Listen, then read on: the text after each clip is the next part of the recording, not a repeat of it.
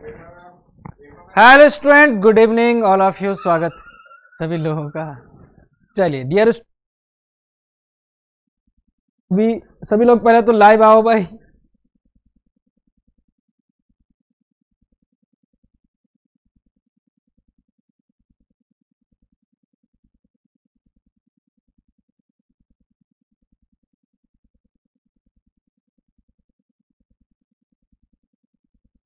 All of you सभी लोगों को गुड इवनिंग चलिए लाइव आएँगे आप सब लोग. पहले तो उस क्लास को धनाधन शेयर करते हैं, जिससे कि पूरी क्लास का, पूरा सेशन का सब लोगों को फ़ायदा उठे। ठीक है?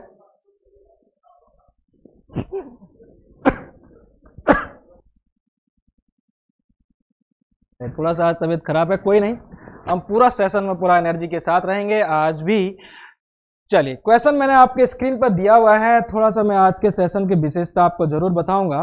सेशन की विशेषता ये है कि सबसे पहले तो आप देख पा रहे हैं थंबनेल में कि आपके सभी बुकों का निचोड़ दिया गया है। आज का सेशन बिल्कुल बहुत ही ज़्यादा टफ नहीं होने वाला है। मैं आपको जस्ट पहले जो कल कल सेशन था हमारा, उसमें थोड़ा सा चलूँ, उससे आज की कंपेयर करूँ तो कल के सेक्शन में, कल के सेशन में जो प्रैक्टिस सेट 10 था, आपका 10 था, आज का प्रैक्टिस सेट 11 है। तो 10 वाले प्रैक्टिस सेट में कुछ क्वेश्चन स्ट्रक्चर के डाल दिए गए थे तो थोड़ा सा डिफ़िकल्ट हो गया था, आपको लगा होगा, लेकिन कुछ था भी नहीं उसमें भी। आज भी सेशन बहुत ईजी है।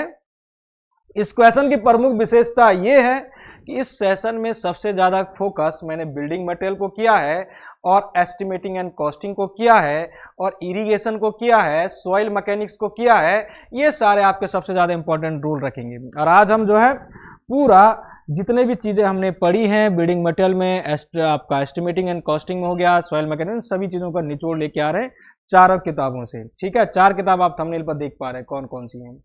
ठीक है? चलिए स्टार्ट करते हैं। ज़्यादा समय लगाए हुए। आर्च की बात किया जाए आप जो भी आर्च की बात करें टू इंच आर्च बात करें या थ्री इंच आर्च की बात करें तो डियर स्टैंड इसको बोला जाता है स्पेन ये होता है स्पेन ठीक है? ओपनिंग का मतलब है आर्च का मतलब ओपनिंग है। जैसे बहुत से लोग अब घर बना रहे हैं तो डुअर के ऊपर, दरवाजे के ऊपर आर्च बना दे रहे हैं, ठीक है? तो इस आर्च की बात किया जा रहा है कि क्राउन ये वाला जो पॉइंट होता है हाईएस्ट पॉइंट यहाँ पर, इसको क्राउन बोला जाता है भाई। दिस द क्राउन तो आप क्या जवाब करोगे इसका? बहुत सही। गुड इवनिंग जी। सर सिविल के लिए है। बिल्कुल जी सिविल के लिए है। क्या है सर, और पेमेंट होने और पैसे कटने के बाद एरर आ गया है। चलो कोई नहीं, अभिषेक जी जी, आप बेफिक्र रहिए, आपका जो भी प्रॉब्लम है उस पर सॉल्व करेंगे, हो जाता है कभी कभार ठीक है मिस्टर अभिषेक, ठीक है। कोई दिक्कत नहीं है। आपका कौन सा ऑप्शन हो जाएगा? डियर स्टूडेंट ये हो जाएगा आपका B option highest point of the extrados of the actually मैं एक्सट्रोड और इंट्रोड में आपको जानकारी दे देता हूँ मैं, क्योंकि आगे क्वेश्चन आपके बहुत सारे इस कॉन्सेप्ट से मिलेंगे। क्या होता है कि आर्च का कोई सरफेस होगा? माना सपोज़ दैट ये आर्च आपने बना दिया है, ये तुम्हारा स्पैन हो गया, ठीक है? ध्यान से देखो इस चीज़ को ये तुम्हारा स्पैन हो गया तो ये वाला सरफेस ये जो तुम्हारा एक्सटीरियर सरफेस है, दो तरह का सरफेस होगा। एक ये तुम्हारा एक्सटीरियर सरफेस बाहर वाला सरफेस एक्सटर्नल सरफेस ये देखना चाहें आप, और इसके अंदर वाला इंटीरियर सरफेस एक्सटर्नल सरफेस को बोला जाता है एक्सट्रॉड्स ये जो लिखा है, और इनर सरफेस को बोला जाता है इस आर्च के इंट्रॉड्स ठीक है? तो एक्सट्रॉड्स के टॉप पर जब आप देखते हैं, तब जाके आप बोलते हैं क्राउन ना कि इंट्रॉड्स पे। तो बी पॉइंट आपका करेक्ट होगा। चलिए, बहुत बढ़िया कहा आपने। नेक्स्ट क्वेश्चन है the type of arch use the type of arch used for the high class building where appearance is of the prime importance is known as देखिएगा, इस क्वेश्चन के लिए, वैसे तो आप इसका जवाब कर सकते हो, कोई बहुत बड़ी बात नहीं है इस क्वेश्चन में। लेकिन इसके पीछे थोड़ा सा रीजन आपको बताऊँगा क्या है एक्चुअली में। एक्चुअली में डियर स्टूडेंट दो तरह का मैसनरी होता है। एक होता है ब्रिक मैसनरी एक होता है स्टोन मैसनरी ब्रिक मैसनरी का मतलब क्या है? बोलो जल्दी से। क्लास को लाइक करते रहो ठीक है? एक होता है ब्रिक मैसनरी एक होता है तुम्हारा स्टोन मैसनरी स्टोन मैसनरी का मतलब है कि पत्थर से किया गया चिनाई स्टोन मैसनरी ठीक है, आपने देखा होगा बहुत सी जगह पर जो आपका स्टोन मैसनरी होता है, जैसे कि आपने देखा होगा कि पत्थरों को पहले ड्रेसिंग किया जाता है। मैं सिखा रहा हूँ आपको सब चीज़ें। जैसे कि खासकर रिटर्निंग वॉल हो गया, या पुराने जो घर बनते थे स्टोन मैसनरी के बनते थे, जबकि आपका ब्रिक का जब ब्रिक के बारे में लोगों को नहीं पता था तो ये इस तरह से स्टोन मैसनरी बनता था। ठीक है? अब देखना आपको यहाँ पर यह है कि जब माना सपोज़ कोई बड़ा बड़ा, बहुत बड़ा पत्थर है ये, कोई बहुत बड़ा पत्थर है, इस पत्थर को आप क्या करोगे? इसका डिसइंटीग्रेट करोगे, तोड़ोगे इसको ठीक है, ये कुछ इरेगुलर शेप में होगा इरेगुलर शेप में होगा, इसको तोड़ोगे, तोड़ने के बाद इसका एक प्रॉपर शेप में, जो आपने शेप में बनाया ना, चिनाई के लिए स्टेशन मैशनरी के लिए तो एक शेप में डालने के लिए प्रॉपर शेप में लाने के लिए, हथौड़े से, छेनी से, ठीक है, इन सभी से जो प्रॉपर शेप में डाला जाता है तो उसके लिए एक प्रॉपर वर्ड यूज़ किया जाता है ड्रेसिंग उसको बोला जाता है ड्रेसिंग ऑफ़ स्टोन क्या बोला जाता है? ये सारे वर्ड मैं वही यूज़ कर रहा हूँ, जो आपके एग्ज़ाम में आएँगे ड्रेसिंग ऑफ़ स्टोन ठीक? अब स्टोन मैसनरी आपके दो तरह का होता है। दो तरह का एक होता है आपका एसलर मैसनरी जो आपका ड्रेसिंग ऑफ़ स्टोन है। एक होता है आपका एसलर मेसनरी और एक होता है आपका रबल मेसनरी ध्यान से सुनते रहेगा, एक होता है rubble masonry rub ashlar masonry और रबल मेसनरी में क्या डिफरेंस है, ये जानना ज़रूरी है। एसलर मेसनरी का मतलब है कि जो आपने ये क्वेरिंग माना, सपोज़ ग्राउंड सरफेस था, इसके नीचे कोई पत्थर था, इस पत्थर को आप क्या करोगे? पहले एक्सकवेट करोगे, इस पत्थर के जहाँ पर सॉइल का एक्सकवेट करोगे, उसके बाद आप पत्थर को निकालोगे बाहर और उसको पहले तोड़ के, छेनी की मदद से या हैमर की मदद से, हथौड़े की मदद से उसको एक प्रॉपर शेप में लाओगे। लाओगे क्या? उसको आपने कहा ड्रेसिंग अब देखना ध्यान से, अगर आप इस स्टोन को जो आप ड्रेसिंग कर रहे हो, इसका एक प्रॉपर शेप में डाल रहे हो अगर आपने मोटे मोटे तरीके से नहीं किया, इसको प्रॉपर तरीके से शेप दिया, एक रेगुलर शेप दिया है, और एक दूसरा तरीका है, आपने मोटे मोटे तौर से इसको शेप दिया है तो इसको बोला जाता है एसलर ड्रेसिंग और इसको बोला जाता जाता है rubble rubble dressing ashlar dressing this is the ashlar dressing this is the rubble ashlar rubble ashlar dressing का मतलब है कि पत्थर को आपने मोटे मोटे तरीके से केवल साइज़ शेप दिया है और ये प्रॉपर तरीके से दिया था। डियर स्टूडेंट एसलर ड्रेसिंग से जो इस मेसनरी दोगे, उसी को बोला जाता है एसलर मेसनिंग और हमेशा आप क्या करोगे, जो आपका आर्च है हाई क्लास बिल्डिंग और अपीरियंस भी अच्छा चाहिए आपको। क्वेश्चन को पढ़ लेते हैं, आप देखो ध्यान से। एसलर मेसनरी मतलब एसलर मेसनरी मतलब प्रॉपर तरीके से स्टोन का ड्रेसिंग और रबल मेसनरी का मतलब हमेशा ध्यान रखिएगा प्रॉपर इम्प्रॉपर तरीके से ड्रेसिंग हुआ होगा. अब पढ़ते हैं क्वेश्चन को. Type of arch use for the high class building where appearance of prime importance पहला चीज़ तो बोल दिया हाई क्लास बिल्डिंग दूसरी चीज़ अपीरियंस दिखने में भी अच्छा लगना चाहिए तो आप कौन सा मैसनरी करोगे? एसलरी आर्च का मैसनरी करोगे? किसका करोगे? एसलरी आर्च का करोगे. बहुत बढ़िया जी. अजय कुमार सी आंसर गलत किया था, मिनी जवान गलत किया था, ठीक है? तो ए ऑप्शन आपका सही होना चाहिए एसलर आर्च बनाओगे। Next question the perpendicular distance between the intrados and extrados of an arch बिल्कुल थोड़ा सा बिल्डिंग मटेरियल के, जब आप आर्च बनाना सिखाते हो, शुरुआत में दरवाज़ा विंडो टिम्बर इनसे ही कुछ क्वेश्चन है आपके सिंपल से, उसके बाद हम आगे चलते हैं। क्योंकि एग्ज़ाम में जब ये क्वेश्चन आते हैं तो थोड़ा सा हम घबरा ज़रूर जाते हैं। चलिए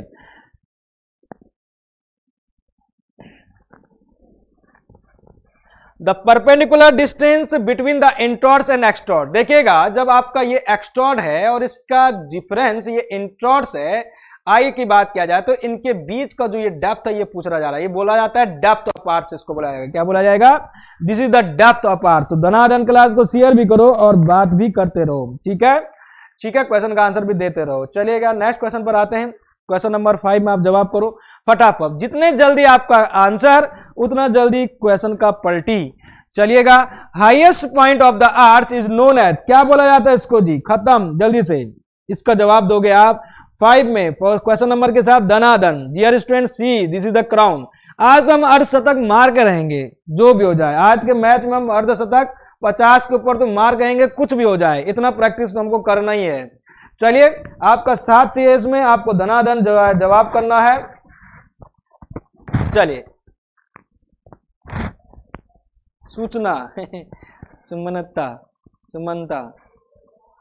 चलो, नाम ले लेंगे तुम्हारा भी। चलो, कोई नहीं। Temporary structure to support an arch during the construction is called बताओ। एक्चुअली में डियर स्टूडेंट एक्चुअली में जब आप कंस्ट्रक्शन करते हो तो उस टाइम पर जो टेम्पररी स्ट्रक्चर आप यूज़ करते हो तो जैकिंग कोई मतलब नहीं स्कैप क्या होता है? स्कैप क्या होता है स्टूडेंट आपने देखा होगा कि मजदूर क्या करते हैं? जैसे आपने जो जो बैम्बो जो आपके होते हैं इस तरह से, इस तरह से जो लट्ठे होते हैं, किसके? यहाँ पर, ये बैम्बो जो पेड़ होता है, उसके, इनको बाँध दिया जाता है। यहाँ पर मजदूर अब चढ़ेगा आराम से, मजदूर चढ़ेगा और यहाँ पर चिनाई करता रहेगा। माना ये दीवार है तो इसको बोलते हैं स्कैप फोल्डिंग ठीक है? जैकिंग आप समझते ही हैं, ठीक है ना? किसी किसी हाइड्रोलिक जैक से अगर आप किसी लोड को लिफ्ट कर रहे हैं या प्रेशर लगा रहे हैं, शोरिंग का मतलब क्या होता है? माना सपोज़ दैट कोई एक्सकवेशन आपने किया सपोज़ दैट आप यहाँ पर कोई ग्राउंड सरफेस है, जिस ग्राउंड सरफेस, यहाँ पर आपने एक्सकवेट किया इतना पार्ट तो ये वाला पार्ट आपने खुदाई कर चुके हैं इतना। अब क्या करोगे जब आप एक्सकवेट कर रहे होंगे यहाँ पर तो ये वाला सॉइल भी नीचे गिर रहा होगा और यहाँ से भी सॉइल नीचे गिर रहा होगा।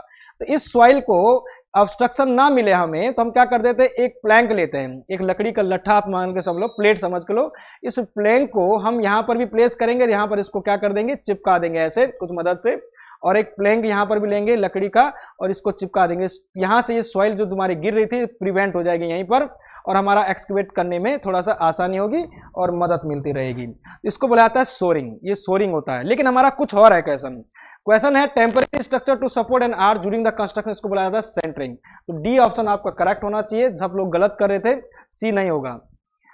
The valuation of building depend upon the ये आपका एस्टिमेटिंग का क्वेश्चन है, लेकिन बहुत ही इजी तरह का क्वेश्चन है. Valuation of the building depend upon the valuation of a building depends upon the valuation of the building depends upon the बताओ, धनाधन जवाब करो.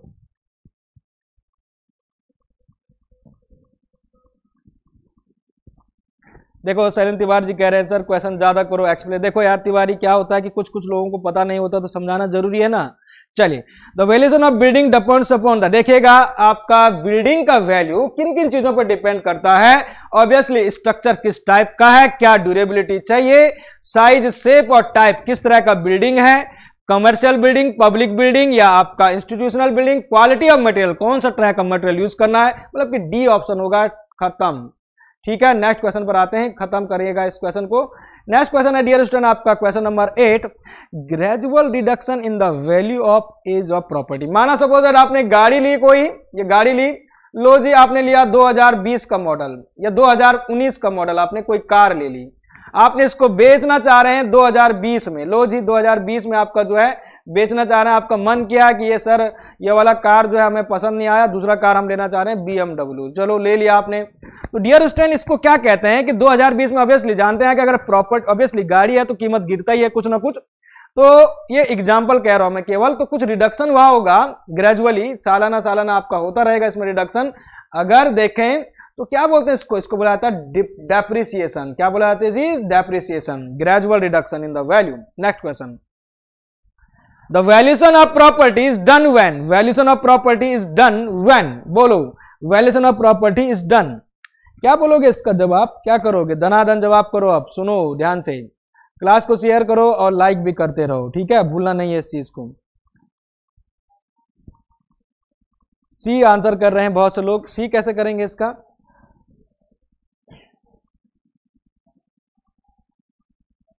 नम्रता डी। ज्योति जी आपने सी किया। सी कैसे कर रहे वैसे? नौ, अच्छा नौ आठ का सी था। चलो कोई नहीं बहुत बढ़िया जी। Owner of the property want to sell it. Municipal tax well tax state duty have to be fixed. Insurance of the property has to be done. सारा का सारा पर डिपेंड करेगा। ठीक है ना? चलिए नेक्स्ट क्वेश्चन पर डिपेंड करते हैं हम अभी आपका इंपॉर्टेंट है भाई। बहुत से लोग इसके बारे में नहीं जानते होंगे शायद ये क्वेश्चन इंपॉर्टेंट है लेकिन ये आपको याद करना पड़ेगा साथ साथ मेरे। क्वेश्चन है in any case any case the bearing of the lintel should not be less than बोला गया है in any case of the bearing of a lintel should not be less than bearing का मतलब समझते हैं क्या आप? लिंटल का मतलब समझते हैं क्या? लिंटल का मतलब होता है कोई अगर ओपनिंग है, जैसे आपका कोई मैसनरी है। मैसनरी का मतलब आपने देखा होगा कि दरवाजे के ऊपर कोई ओपनिंग है सपोज़ दैट ये ओपनिंग है। तो ओपनिंग के ऊपर आप क्या करते हो? ओपनिंग के ऊपर की जो मैसनरी होती है यहाँ पर एक प्ले, एक आप बीम बनाओगे, एक तरह से बीम की तरह, इसके ऊपर जो मैसनरी को तभी तो प्लेस कर पाओगे, उसके ऊपर छत बनता है, ठीक है? तो एक तरह से ये क्या है, एक आपका ऐसा कंपोनेंट है जो कि हमारा किसी भी ओपनिंग के ऊपर रखा जाएगा किसको स्टेबल करने के लिए? उसके ऊपर का जो मैसनरी स्टेबल करने के लिए, ठीक है? तो जवाब करोगे आप इसमें वन फिफ्टीन सेंटीमीटर बियरिंग का मतलब एक्चुअली में क्या, मैं आपको समझा देता हूँ कि ये तुम्हारा बीम था, माना सपोज़ दैट इसको कन्फाइंड किया गया एक वॉल में इधर से और एक वॉल में इधर से किया होगा। तो यहाँ पर ये वाला जो डिस्टेंस होता है, इसको पूरा बियरिंग बोला जाता है, ठीक है? इसको बियरिंग बोला जाता है, ठीक है जी? इधर वाली वॉल में क्या, ये पूरी वॉल है एक्चुअली में। और यहाँ से ये भी वॉल होगी तो लिंटल जितने वॉल में आपका धंसा होगा, दोनों तरफ़ से बियरिंग उसको बोला जाता है। तो 15 सेंटीमीटर तो एटलीस्ट होना ही चाहिए एक साइड का। कितना? 15 सेंटीमीटर चलिएगा। In case of the RCC lintel the position of the main reinforcement in the concrete should be at least बताओ टॉप में रखोगे सेंटर में रखोगे बॉटम में रखोगे, क्या है? बताओ जल्दी से। अरे जल्दी से बताओ जी। देखो, ये तो स्टूडेंट एक्चुअली में क्या बोला था आपको, जब भी आपने क्लास लिया होगा, जिन लोगों ने स्टील स्टील पढ़ा है थोड़ा सा तो अब जवाब आप दोगे आरसीसी भी पढ़ा है तो। ये आपका सिंपली सपोर्टेड बीम है जनरली हम इसी बीम को डिज़ाइन करते हैं। होता क्या कि हर एक बीम में इसके खुद के लोड के कारण या कोई आपका लाइव लोड आ रहा है यूडीएल तो इस बीम में कुछ सैगिंग देखने को मिलता है ऐसा। मिल गया क्या? बिल्कुल। अगर आप एक प्लेन यहाँ पर देखें, एक प्लेन होता है न्यूट्रल प्लेन इसको आप एक एक्सिस कहते हैं न्यूट्रल एक्सिस इसके ऊपर आप देख रहे हैं न्यूट्रल एक्सिस के ऊपर आपका कंप्रेशन आ रहा है। न्यूट्रल एक्सिस के नीचे आपका टेंशन खींच रहा है। कंप्रेशन में कंक्रीट मज़बूत होता है टेंशन को कौन लेगा? स्टील लेगा। इसी वजह से हम स्टील को बॉटम जोन में डालते हैं। आपने देखा भी होगा, इसका क्रॉस सेक्शन काटोगे। तो ये पार्ट कुछ ऐसा दिखता है आपको। तो ये न्यूट्रल एक्सिस के नीचे ही बार डाला जाता है। तो बॉटम में आप जनरली बार डालते हो किसी भी बिन में। किसमें जी? बॉटम में। चलिए next question for a large span the most suitable type of the roof preferred is for the large span most suitable type of the roof preferred कौन सा टाइप का रूफ जो है प्रिफेयर करोगे बहुत बड़े स्पैन के लिए? अगर आपने थोड़ा सा रूफ के बारे में हल्का से बिल्डिंग कंस्ट्रक्शन के और बिल्डिंग मटेरियल के अलग अलग दोनों से मैंने क्वेश्चन बनाए हैं, जो आपके पूछे जाते हैं, जो आपके कंफ्यूज कराएँगे एग्ज़ाम में। अगर आपने पढ़ा होगा तो आप ऑब्वियसली सही करोगे, ठीक है? चलिए क्वेश्चन नंबर के साथ जवाब करेंगे। नंबर था बारह का सी कर रहे हैं निधि, मिनी चौहान। सी कर रहा है, वर्षा नेगी, बारह का ए कर रहे हैं, गलत कर दिया। अभिनव यादव, बारह का बी कर रहे हैं, बहुत सही किया आपने। अफजल जी, बहुत गलत किया आपने। चलिए, अब आते हैं इधर। ये आपका स्लोपी रूप के लिए बात करता है। स्लोपी रूप का मतलब ये। तो बहुत बड़े स्पैन के लिए, लंबे स्पैन के लिए स्लोपी रूप हम यूज़ करते हैं। ध्यान रखिएगा इस बात को। तो रट डालो इस फॉर्मूले को। For the large span the most suitable type of roof that will be sloppy roof. चलिएगा next question flat roof are particularly suitable आज सारे के सारे क्वेश्चन थियोरेटिकल ही एक भी न्यूमेरिकल नहीं है। सारे थियोरेटिकल क्वेश्चन का दनादन जवाब करिएगा। Flat roof are particularly suitable for the tropical places because flat roof की बात किया गया है। तो जरा जवाब करो दनादन क्वेश्चन नंबर थर्टीन आंसर के साथ दो। क्वेश्चन के साथ। क्वेश्चन नंबर थर्टीन में आप क्या बात करोगे? Dear student flat roof are particularly suitable for our tropical places because the top of the flat roof can be used as a terrace क्या करते हैं? जो top of the flat roof होता है, इसलिए हमारा सुटेबल होता है, क्योंकि वो हम एज अ टेरेस की तरह इसको यूज़ करते हैं। क्या बोलता है? बी ओसन चलो, बहुत बढ़िया। नेक्स्ट क्वेश्चन पर आते हैं। नेक्स्ट क्वेश्चन आपका question different types of pitched roof are different type of pitch roof pitch का मतलब एक्चुअली में स्लोप से है। ठीक है? जरा बताओ जरा कितने लोगों ने ये क्वेश्चन रटा हुआ है।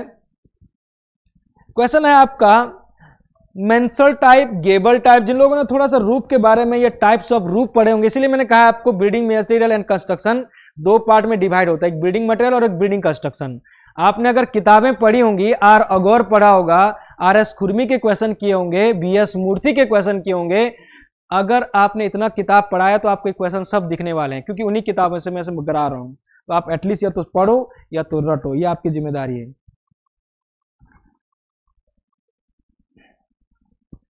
चलो, बहुत बढ़िया, खत्म। क्वेश्चन है आपका बोथ ए बिल्कुल, अभिनय यादव जी कह रहे हैं कि सब देखते ही उत्तर देंगे हम। इतना ज़्यादा है आपको पढ़ा हुआ। चलो, बहुत बढ़िया जी, बहुत खुशी हुई। तो बोथ ऑफ़ देम ठीक है? आपका mansard type and gable type तो आप रट देंगे इस क्वेश्चन को, चलेगा। नेक्स्ट क्वेश्चन पर आते हैं।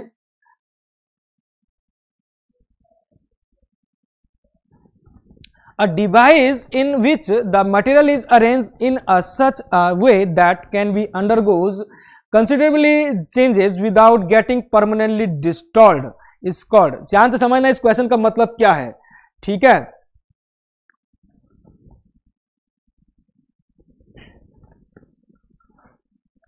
ठीक है सिंगिंग फंड पर भी कराऊँगा ठीक है टेंशन मत लो चलिए a device in which the material is arrange in such a way that the it can undergoes considerably changes without the getting permanently destroyed called क्या जवाब करोगे इसका? ये क्या जवाब करोगे आप? दिस इज़ द स्प्रिंग ये क्या हो जाएगा? स्प्रिंग समझ रहे क्या चीज़ों को? ये स्प्रिंग की बात कर रहा है, ये ऑप्शन बहुत बढ़िया। The laminated spring are given initial curvature because जो लेमिनेटेड स्प्रिंग है स्प्रिंग का थोड़ा सा नॉलेज इसमें चाहिए है। Laminated spring are given initial curvature because क्यों? Initial curvature because to have the uniform strength to make it more economical the plate may become flat क्या जवाब करोगे इसका? जल्दी से जवाब करेंगे क्वेश्चन नंबर 16 में। डियर स्टूडेंट एक्चुअली में इसका मतलब ये है the plate may become flat when it is subject to design load laminated spring जो है, उसमें थोड़ा सा इनिशियली कर्वेचर जनरेट हो जाता है, क्योंकि वो प्लेट होती है आपकी फ्लैट जिसके कारण डिज़ाइन लोड जब उसमें पड़ता है तो थोड़ा सा कर्वेचर देखने को मिलता है। तो सी ऑप्शन आप करेंगे, याद कर लेंगे आपका ये सारे क्वेश्चन तो क्योंकि आपको वहीं से फ़ायदा हो जाएगा, क्योंकि प्रैक्टिस हम कर रहे हैं। The condition for producing twisting in the spring by the couple apply to the helical closely coiled spring is the arm of the couple helical closely spring actually में दो तरह का स्प्रिंग होता है। ये होता है तुम्हारा हेलिकल स्प्रिंग जो आपने जनरली देखा होगा। एक आपने ऐसा स्प्रिंग भी सुना है क्या? ऐसा वाला स्प्रिंग जो गाड़ियों में होता है, गाड़ियों के जो आपके फट्टे जिनको कहा जाता है, ये स्प्रिंग जब लोड पड़ता है तो इसमें एक नेचर देता है, एक रिलैक्सेशन नेचर का। ठीक है? ये इसको बोलते हैं लीप स्प्रिंग लीप स्प्रिंग और ये होता है आपका हेलिकल स्प्रिंग तो इसके लिए क्वेश्चन पूछा गया है। दोनों को अगर आपने पढ़ा है स्ट्रेंथ ऑफ़ मटेरियल से तो 17 का बी आंसर कर रहे हैं लोग, लेकिन बहुत सही आंसर किया भाई। बहुत वेरी गुड वेरी गुड जी। नम्रता कुमार शर्मा रिंटू, सब लोग सही कर रहे हैं आंसर मतलब कि बी आंसर बहुत बढ़िया हो जाएगा। Should be the right angle to the axis of spring wire बहुत सही जी, आप सभी लोगों ने पढ़ा है मतलब। The most important property for the spring material is क्या होता है कि जब स्प्रिंग जब बना रहे होंगे स्प्रिंग बना रहे होंगे तो स्प्रिंग बनाने के लिए जो मटेरियल है, जिसका बना रहे हैं आप तो सबसे इंपॉर्टेंट प्रॉपर्टी क्या है, ये पूछ रहा आपसे। The most important property for the spring material is to be बताओ। क्या होगा जी? धनाधन जवाब करो। आज हमारा टारगेट है कि 50 तो पार करना ही है तो इसमें आपका बहुत बड़ा साथ चाहिए प्रैक्टिस में। तो 17 का राइट एंगल कर रहे हैं। देखो आंसर करो भाई 18 की बात कर रहे हैं। 18 की बात कर रहे हैं। Dear student high elastic limit चाहिए। हाई डिफ्लेक्शन वैल्यू चाहिए। रेजिस्टेंस फटिक एंड शॉक चाहिए। तो डियर स्टूडेंट स्प्रिंग जब बनाओगे तो सभी आपकी प्रॉपर्टी इसमें होनी चाहिए। D option next best spring steel must consist of the following element जो बेस्ट स्प्रिंग स्टील है, जो आप जिस स्टील से स्प्रिंग बनाओगे तो कौन कौन सी एलिमेंट उसमें होने चाहिए? क्योंकि आपका हर एक स्टील कुछ ना कुछ एलॉय से मिक्सर से बनता है। जैसे कि क्रोमियम हो गया टंगस्टन हो गया कोबाल्ट हो गया कार्बन हो गया सिलिकॉन हो गया निकेल हो गया मोलिब्डेनम हो गया फास्फोरस हो गया इतने सारे एलॉय होते हैं मिक्सर होते हैं, तब जाके स्टील बनता है। लेकिन स्पेशली यहाँ पर बोला जाएगा कि स्टील के लिए जो स्प्रिंग आप बना रहे हैं स्प्रिंग के लिए जो स्टील यूज़ कर रहे हैं तो सबसे बेस्ट ऑप्शन जो होगा, क्या होगा? तो डियर स्टूडेंट जल्दी से जवाब करेंगे question number nineteen dear student ये होगा आपका कौन सा? ए ऑप्शन होगा chromium vanadium manganese and silicon ये चार चीज़ें बहुत ज़रूरी होनी चाहिए। ठीक है? 19 का ए सारे क्वेश्चन इंपॉर्टेंट है। रट डालो या समझ डालो। समझने की अभी ज़रूरत नहीं है क्योंकि आपके एग्ज़ाम बहुत नज़दीक है। In a cylinder having thin wall in a cylinder thin wall hoop stresses formed will act through in a cylinder having thin wall the hoop stresses formed will act through क्या जवाब करोगे आप? धनाधन जवाब करो फटाक से। जवाब करो जी। In a cylinder having thin wall the hoop stresses formed will act through the longitudinal section पर सरकमफरेंशियल रेडियल पर बताओ, जल्दी से जवाब। क्वेश्चन नंबर ट्वेंटी ये करोगे स्टूडेंट लॉन्गिट्यूडनल सेक्शन पर ये काम करता है longitudinal section along the length along the length काम करता है ये। हुप स्ट्रेस जो कि आपको पता ही है, आप रट डालो इसका वैल्यू क्या होता था? भूल गए क्या? चलो। लाइक करते रहो भाई क्लास को। नेक्स्ट क्लास नेक्स्ट क्वेश्चन करते हैं। In a cylinder the longitudinal stress will act through the बोलो। In a cylinder, longitudinal stresses will act to the question number 21 question number 21 जल्दी से जवाब करेंगे। थटा थट करके। लॉन्गिट्यूडनल सेक्शन पर क्या जवाब करोगे? क्वेश्चन नंबर 21 में बात किया है? डियर स्टूडेंट ये होगा आपका the section at the right angle to the longitudinal axis ठीक है? लॉन्गिट्यूनल स्ट्रेसेस जो आपके लगते हैं, आपके राइट एंगल पर लगते हैं, इस चीज़ को समझो ध्यान से। 21 में आपका डी सर बी होगा 20 नंबर का। ठीक है? चलो, बाद में चेक कर लेंगे। The circumferential joint of the two shell is also known as circumferential joint क्या बोला जाता है इसको circumferential joint question number twenty को इसको बोला जाता है left joint circumferential joint circumferential joint माना कि दो प्लेट आपका ये है और एक प्लेट आपने, ये आपने जो है, ये यहाँ पर ज्वाइंट दिया है। दो प्लेट की पतली प्लेट को आपने यहाँ पर ज्वाइंट दिया गया है। एक कवर लगाओगे यहाँ पर एक, इसको लेफ़्ट ज्वाइंट एक्चुअली में बोला जाता है, ठीक है ओवरलैपिंग किया जाता है वहाँ पर, ठीक है ओवरलैपिंग किया जाता है तो उसको लेफ़्ट ज्वाइंट किया जाता है। मतलब कि एक मैम प्लेट को दूसरी प्लेट के ऊपर इस तरह से ज्वाइंट किया जाता है वहाँ पर तो उसको लेफ़्ट ज्वाइंट की तरह हम क्या करते हैं यूज़ करते हैं, ठीक है। चलिए नेक्स्ट क्वेश्चन आपका। अब आपका ओपन चैनल फ्लो थोड़ा सा आपको नॉलेज भी पता होना चाहिए ओसीएफ जब आप फ्लूड मैकेनिक्स पढ़ते हैं तो ओपन चैनल फ्लो का भी हल्का फुल्का नॉलेज आपको पता होना चाहिए, तब जाके आपका कंप्लीट फ्लो जो है कंप्लीट फ्लूड मैकेनिक्स कंप्लीट होता है। चलिए स्टार्ट करते हैं। Flow at the critical depth takes place in a open channel flow ये स्टूडेंट इस क्वेश्चन का जवाब करना है फटाफट से। एक्चुअली में अगर आपका बात किया जाए, कोई भी मोस्ट एफिशिएंट इकोनॉमिकल चैनल जब आप कहते हैं तो मोस्ट एफिशिएंट चैनल का मतलब ही होता है कि for the given cross section area most efficient channel that means what for the given cross section area the discharge will maximum ये मतलब होता है, लेकिन चलो जवाब को आप देखते हैं आपका जवाब क्या बोलता है। ठीक है एक्चुअली में क्या होता है क्रिटिकल डेप्थ पर जब आपका वाईसी की बात किया जाए, अगर आपको थोड़ा सा नॉलेज है इसके बारे में तो वहाँ पर हमारा क्या होता है कि जो डिस्चार्ज होता है ठीक है? ठीक है ओपन चैनल फ्लो की बात हो रहा है फॉर अ गिवन डिस्चार्ज जो आपका गिवन डिस्चार्ज जो भी आपका डिस्चार्ज कॉन्स्टेंट है, उसके लिए स्पेसिफिक एनर्जी जो आता है मैक्सिमम आता है। उसके लिए स्पेसिफिक एनर्जी जो आएगा 23 में आपका ऑप्शन बहुत बढ़िया जी, सब लोग सही कर रहे हैं। डी नहीं होगा जी, ठीक है? For a given discharge specific energy is minimum ठीक है? चलिए नेक्स्ट क्वेश्चन करते हैं। इमर्स्ड बॉडी ये आपका फ्लूड मैकेनिक्स से क्वेश्चन है, बिल्कुल बेसिक लेवल के क्वेश्चन ही है। For a immersed body in a floating material floating fluid the lift force actually में अगर आपका ये पानी का लेवल है, यहाँ पर अगर आप इस बॉडी को इमर्स कर देते हैं, ये कंप्लीटली है या नहीं है? उससे कोई मतलब नहीं। अभी बस इतना पूछ रहा है कि यहाँ पर एक फोर्स लगता है लिफ्ट फोर्स बॉटम से। उस फोर्स को क्या नाम देते हैं जी? इस फोर्स को क्या बायोन फोर्स कहते हैं क्या? बिल्कुल, एक लिफ्ट फोर्स लगता है पानी के द्वारा, उसको बोलते हैं बायोन फोर्स एफ़ डी से डिनोट करते हैं। This is the buoyant force exactly buoyant force होगा 24 में A option correct point of which the resultant pressure on the immerse surface act is known as बिल्कुल सब ज़ीरो स्तर के ही question है, जरा धनाधन जवाब करेंगे। वो, बोलो। स्पेसिफिक एनर्जी मिनिमम होता है तो मिनिमम तो लिखा है जी।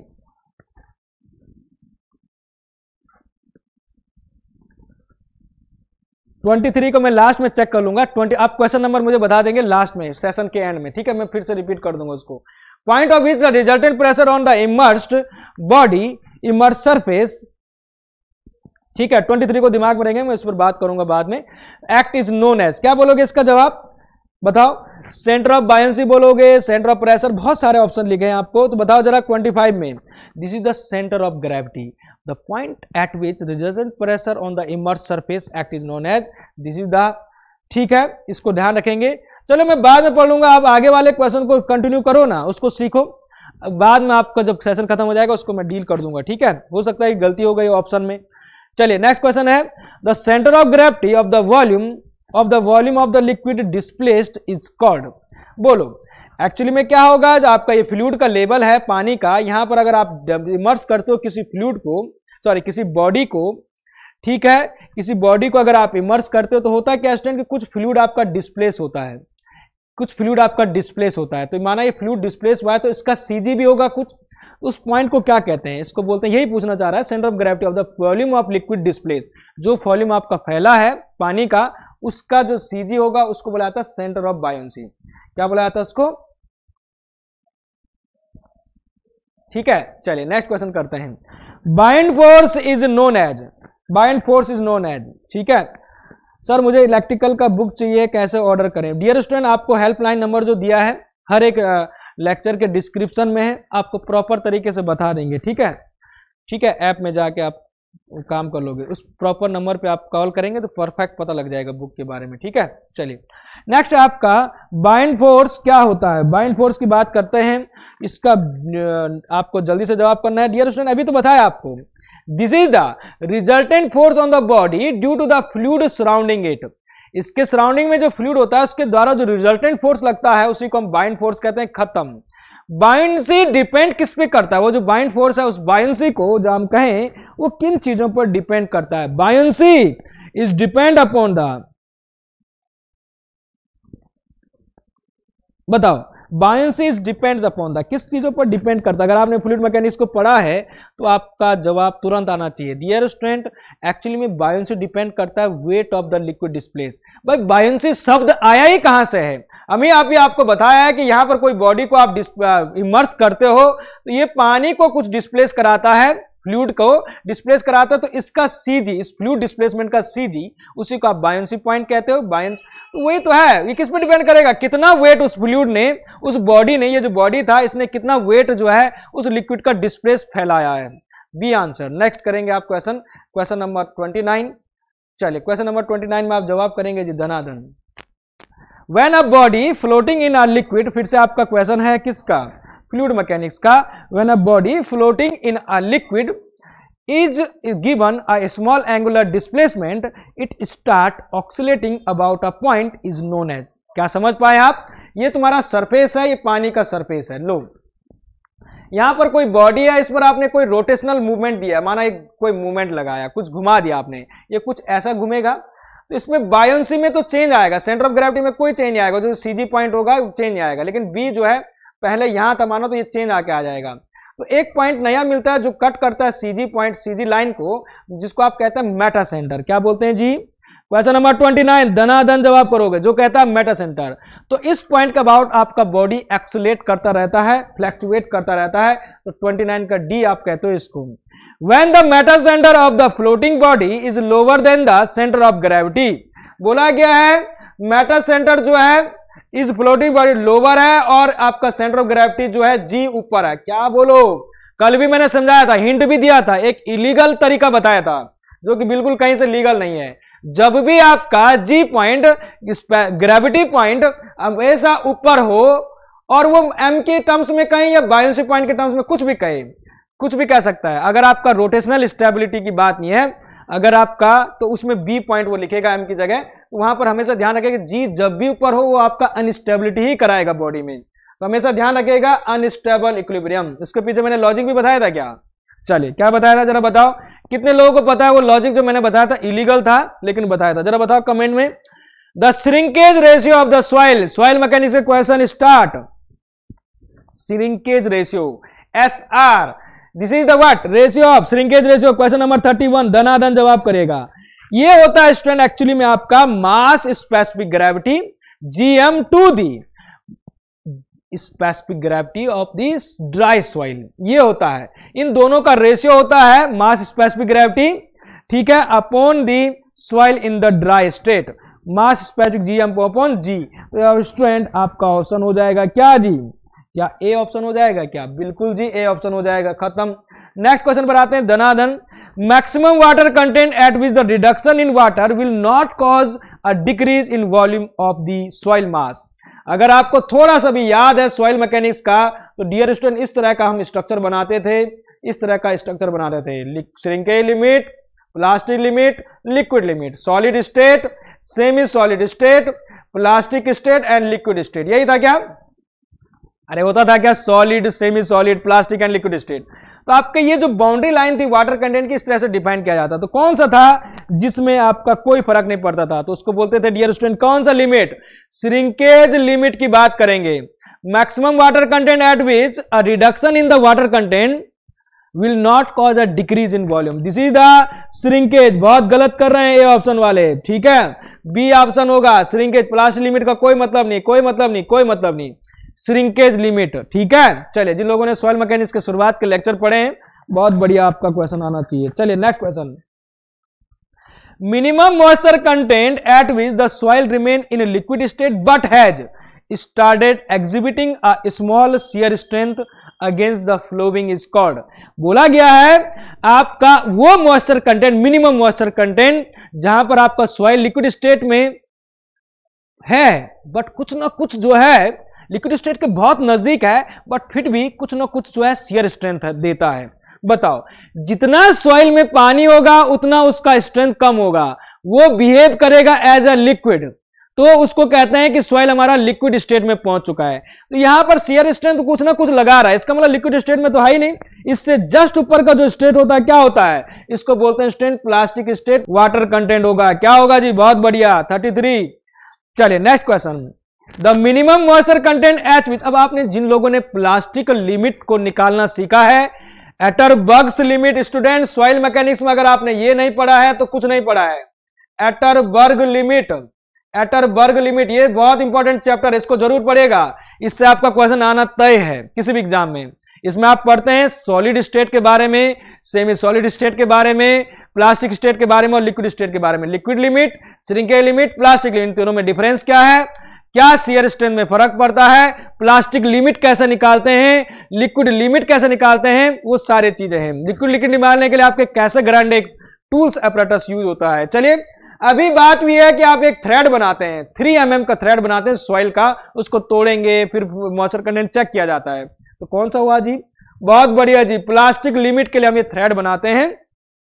Minimum moisture content at with the soil just begin to crumble टूटना स्टार्ट हो जाता है जब रोल करते हो थ्री एम mm का, फिर तोड़ोगे, फिर रोल करोगे तो एक टाइम तो ऐसा आएगा कि टूट ही जाएगा। जिस टाइम पर वो थ्रेड वो धागा थ्री एम mm का टूट जाएगा, वहाँ पर वाटर कंटेंट चेक किया जाता है तो वो प्लास्टिक लिमिट कहा जाता है। प्लास्टिक लिमिट का है ही मतलब वाटर कंटेंट ठीक है?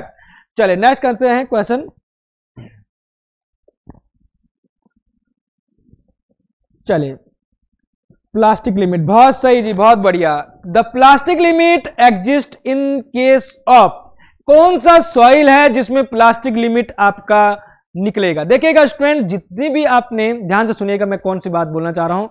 एटरबर्ग जब आप पढ़ते हैं प्लास्टिक लिमिट आपका श्रिंकेज लिमिट आपका लिक्विड लिमिट सभी तरह का लिमिट जो हम पढ़ते हैं, केवल कौन से सॉइल के लिए पढ़ते हैं? केवल हम पढ़ते हैं किस सॉइल के लिए जी? वो सब हम पढ़ते हैं क्ले सॉइल के लिए। क्ले महीन महीन सॉइल के लिए पढ़ते हैं। ये बात नहीं है, ये बात नहीं है, ये बात नहीं है। तो ए ऑप्शन आपका करेक्ट होना चाहिए था। बहुत बढ़िया। Saturated density of soil can be expressed as saturated density का मतलब है डेंसिटी तो आप पढ़ते ही हैं वेट डेंसिटी की बात करा जाए तो weight of soil upon the total volume of soil लेकिन जब आप सैचुरेटेड नाम दे देते तो इसका मतलब है कि सॉइल के वाइट्स में फुल वाइट्स आपके वाटर से फिलअप हैं। ठीक है? वॉल्यूम ऑफ़ वाइट्स में केवल वॉल्यूम ऑफ़ वाटर दिखेगा। एयर की जगह भी एक्यूपाई किया है वाटर ने। तो चलो, बताओ जरा क्या हो जाएगा? सैचुरेटेड डेंसिटी का मतलब क्या हो जाएगा? जरा दबाव करो धनाधन। क्वेश्चन नंबर थर्टी सिक्स बोलो। Question number thirty six dear student unit weight of saturated soil क्या अभी तो बताया। यूनिट वेट ऑफ़ सॉइल है क्या ये? भाई, आपका सैचुरेटेड डेंसिटी का मतलब आप जानते थे, इसको यूनिट वेट भी कहते कितना सिंपल क्वेश्चन बना दिया। देखो घुमा घुमा के आपसे। स्टूडेंट सी आंसर जो कर रहे हैं, बहुत गलत कर रहे हैं। ठीक है? आप बहुत गलत कर रहे हैं, ऐसा नहीं करोगे पाप। सिंपल सा क्वेश्चन आपको जवाब पूछ रहा है, आपको घुमाया गया, बस गुमराह किया गया है। ठीक है, इसको बुलाते हैं। Unit weight of saturated soil उसी को आप सैचुरेटेड डेंसिटी ऑफ़ सॉइल कहते हो। ठीक है? जब सैचुरेटेड कंडीशन में सॉइल होगा, उसी टाइम पर जब यूनिट वेट होगा, उसी को हम सैचुरेटेड डेंसिटी भी कहते हैं। समझ गए? तो डी ऑप्शन आपका करेक्ट होना चाहिए। तो चलिए नेक्स्ट क्वेश्चन पर आते हैं। क्वेश्चन नंबर थर्टी सिक्स गलती नहीं करनी है जी, ठीक है? A liquid limit is defined है what is the liquid limit how can you define the liquid limit ये पूछना चाह रहा है। Question number thirty seven dear student liquid limit क्या है? लिक्विड लिमिट का मतलब है amount of water which makes the soil go into the solid state from the liquid state अरे यही है क्या? लिक्विड लिमिट का मतलब बताओ जरा।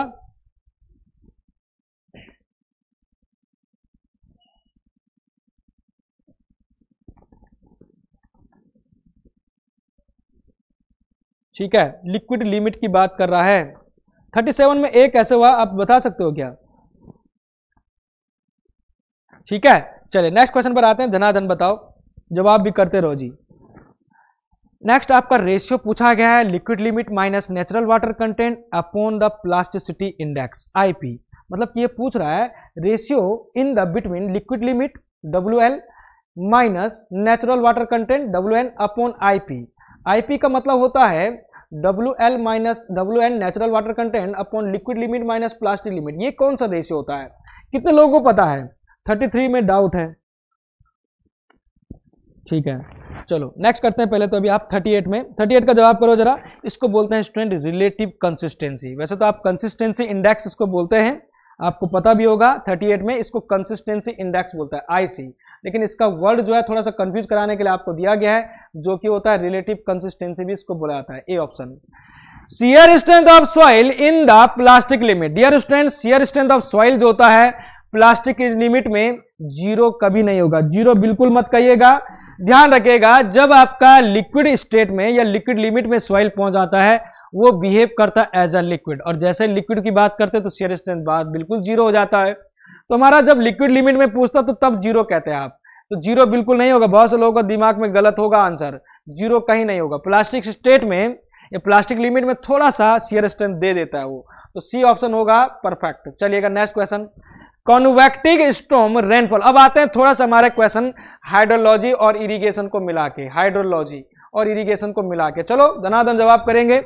कॉन्वेक्टिक स्टोम रेनिफॉल बारिश कॉन्वेक्टिव होता है, ठीक है? स्टोम रेनफॉल जनरली क्या होता है? कब होता है, कैसे होता है, इस सब पूछा गया है आपसे। क्वेश्चन नंबर फोर्टी में आप जवाब करेंगे डियर स्टूडेंट ये कौन सा आप जवाब करोगे, जल्दी से बताओ। Short duration but high density जो कॉन्वेक्टिव स्टोम रेनफॉल होता है, आपने टाइप ऑफ़ स्टोम रेनफॉल पढ़े होंगे। तो डियर स्टूडेंट एक्चुअली में शॉर्ट ड्यूरेशन का तो होता है बट इंटेंसिटी का इसका बहुत ही ज़्यादा हाई होता है। ठीक है? चलिएगा नेक्स्ट क्वेश्चन पर आते हैं। Movement of water in the channel is influenced by the movement of water in a channel influence by the बताओ, किसी चैनल में, खासकर चैनल का मतलब जैसे कैनाल समझ लो आप, नहर समझते हो आप, वो किन किन चीज़ों से उसका मूवमेंट जो है इन्फ्लुएंस करेगा? देखो फोर्स ऑफ़ ग्रेविटी पर भी डिपेंड करेगा, अगर आपका बहुत ज़्यादा स्लोप है तो ऑब्वियसली ग्रेविटेशनल फोर्स बढ़ेगा स्लोप तो बड़े ऑब्वियसली स्लोप पर तो डिपेंड करेगा फ्रिक्शन, वाटर का, जो सरफेस होगा बेड जो होगा, उस चैनल का बॉटम उसका और पानी के मूवमेंट के डायरेक्शन में एक फ्रिक्शन लगेगा, उस पर भी डिपेंड करेगा। तो आपका डी ऑप्शन के अलावा आपका कुछ नहीं बनता है, सभी पर डिपेंड करेगा। नेक्स्ट क्वेश्चन डी बहुत सही जी। The flow in open channel धनाधन जवाब करेगा। Is called steady if the channel always run velocity of fluid remain constant with respect to time क्या जवाब करोगे? फटाफट बताओ। Flow in an open channel is called steady कितने लोगों ने पढ़ा है स्टेडी फ्लो जिन लोगों ने फ्लूड मैकेनिक्स पढ़ा होगा, भाई, बहुत ज़ीरो स्तर का क्वेश्चन है ये। कितनी बार इसको समझाया मैंने? इसको प्रॉपरली एग्ज़ाम्पल प्रैक्टिकल सब समझा रखा है। आप जवाब करेगा स्टडी फ्लो जिनको समझ नहीं आता है, वो आप लेक्चर ज़रूर देखेगा। फ्लूड मैकेनिक्स, ठीक है? बदलाव बेस्ट सीरीज़ से चला था ये। तो आप ज़रूर क्लास में देखेंगे, प्लेलिस्ट में जाकर। Flow in an open channel is called steady कब कहते हो जी? जरा धनाधन जवाब करेगा। 42 में आप आंसर करेंगे। वो होगा स्टूडेंट क्या? जल्दी से बोलो।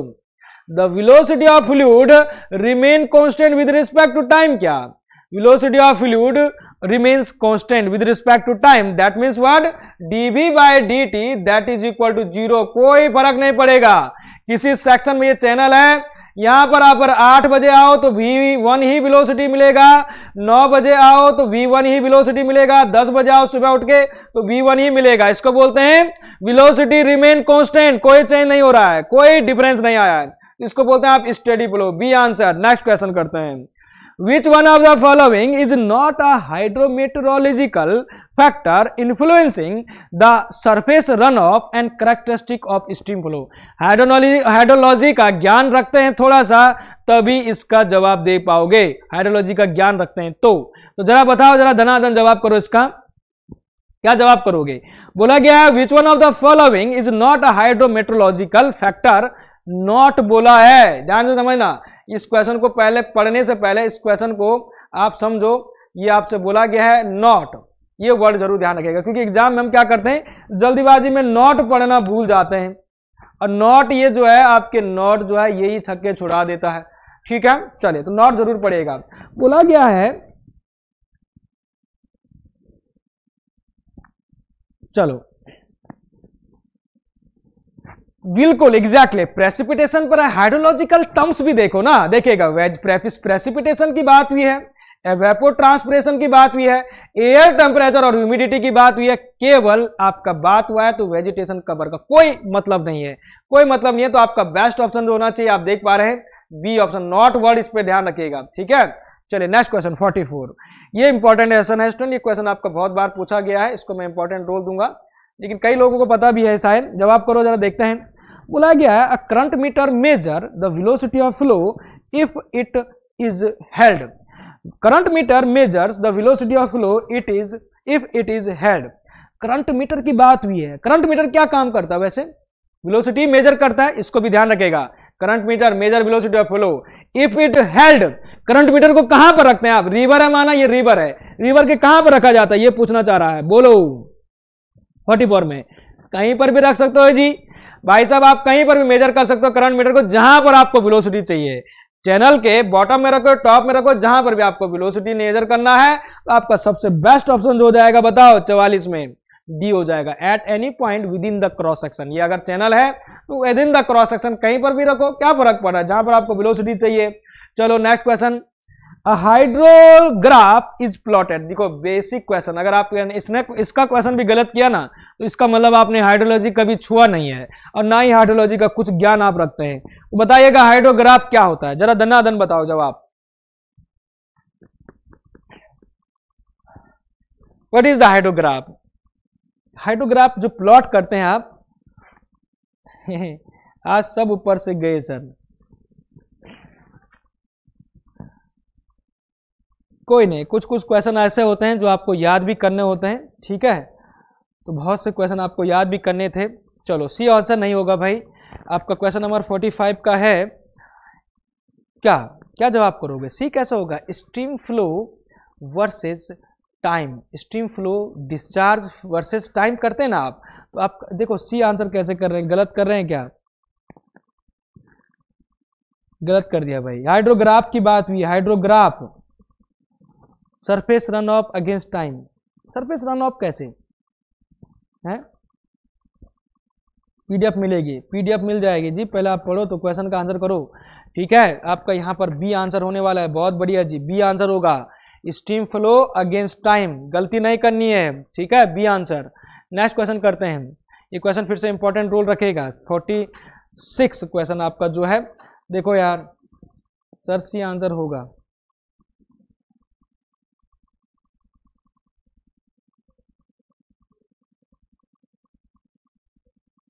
क्वेश्चन को धनाधन जवाब करेगा। फटाफट करके।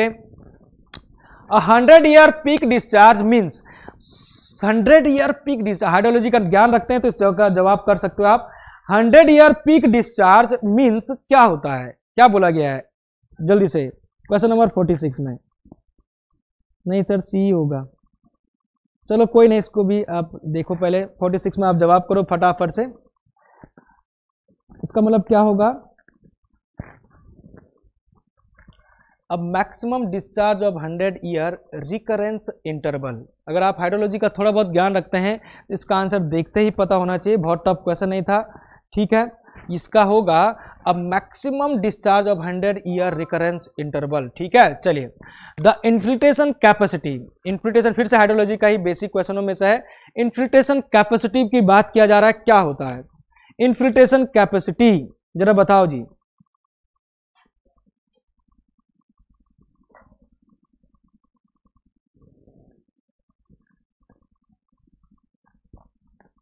चलो, जल्दी से बोलो।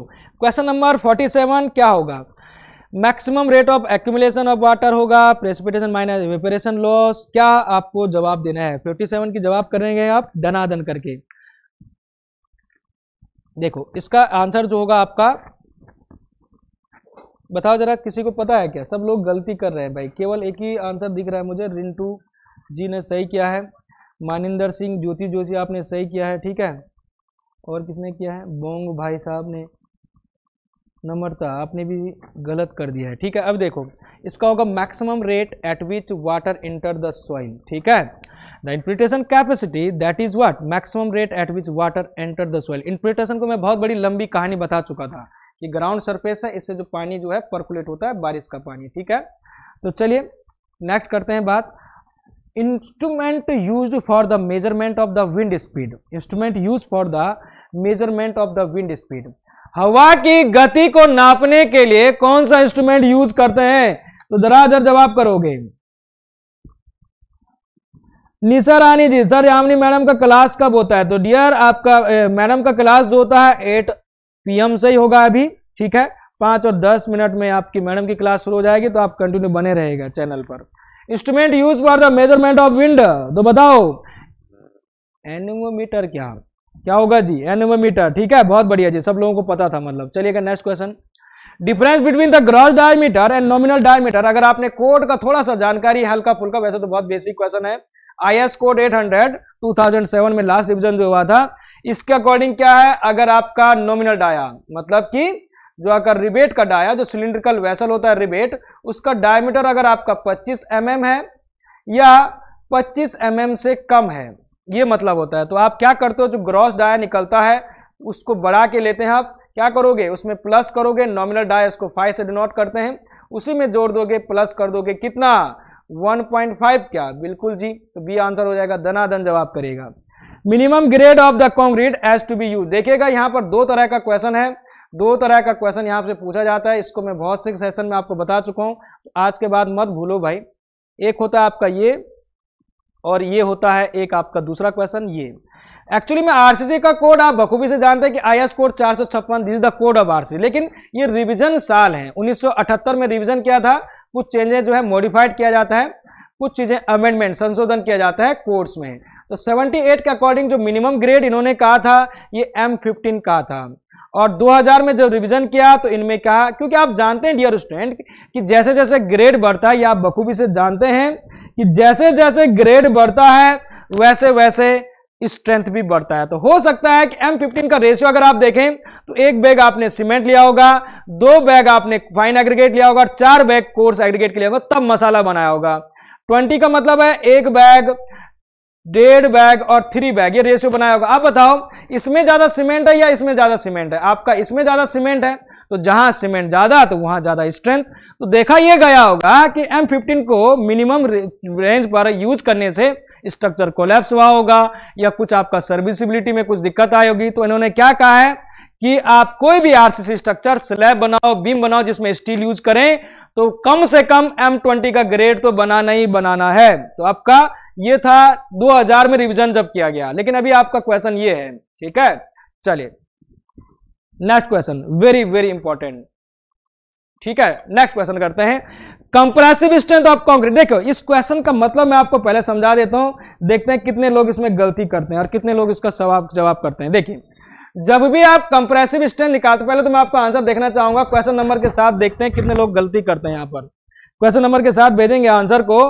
कंप्रेसिव स्ट्रेंथ जब भी आप निकालते हैं तो ध्यान रखिएगा। जब आपने टेस्टिंग किया होगा क्यूब टेस्टिंग सिलेंडर टेस्टिंग तो कंप्रेसिव स्ट्रेंथ जो निकालते हैं, जब आपका फेलियर लोड होता है, जिस पर क्रैकिंग आता है, जिसको आप कहते हैं कंप्रेसिव लोड अपॉन आपका होगा क्रॉस सेक्शन एरिया ठीक है? जोन सा भी है। मुझे एक चीज़ बताओ क्या कंप्रेसिव स्ट्रेंथ यही पूछ रहा है एक्चुअली में, और cross section area cross section area घटेगा तो आपका कंप्रेसिव स्ट्रेंथ क्या होगा? बढ़ेगा क्या? ऐसी सेम क्रॉस सेक्शन एरिया बढ़ेगा तो कंप्रेसिव स्ट्रेंथ घटेगा क्या? ये इनवर्सली रिलेशन है क्या? इनवर्सली प्रोपोर्शनल का? तो यही बोलना चाह रहा है। अगर मैं आपसे बोलूँ कि 150 सौ पचास इंटू एक सौ पचास है, एक एरिया होगा। और एक एरिया होगा 150 सौ पचास इंटू तीन का। कौन सा ज़्यादा एरिया ये वाला ना ज़्यादा एरिया होगा। तो यही पूछ रहा है compressive strength of concrete determine the 150 fifty into one cylinder as compare to the determine from the 150 fifty mm cylinder मतलब कि ज़्यादा वाले एरिया से जब आप कंप्रेसिव स्ट्रेंथ निकालोगे तो लेस होगा या कम होगा? बी होगा। क्या होगा? Compressive strength is less more होगा। अच्छा ऊपर वाले का पूछ रहा है, गलती कर दीजिए, माफ़ करेंगे। इसका एक्चुअली में क्वेश्चन का लैंग्वेज ये बोल रहा है कि 150 पचास इंटू एक सौ पचास वाले का कंप्रेसिव स्ट्रेंथ इसके कंपेयर में क्या होगा? तो ज़्यादा होगा ना, ठीक है? तो गलती हो गई पढ़ने में, चलिए। तो नेक्स्ट स्टूडेंट यहाँ पर आज का सेशन को समाप्त करते हैं। थैंक यू वेरी मच आप सभी लोगों का बने रहने के लिए। तो डियर स्टूडेंट आप होप सो आप सभी लोगों ने बहुत कुछ सीखा होगा, ठीक है? तो क्लास में ऐसे बने रहो भाई, ठीक है? और उत्तराखंड पेयजल निगम वालों, आप सभी लोगों को अग्रिम बधाई, ठीक है? उन्नीस और बीस में आप लोगों का एग्ज़ाम है। उत्तराखंड के विद्यार्थियों, बहुत दनादन पढ़ते रहो, ठीक है? और क्लास में रोज प्रेजेंट रहो।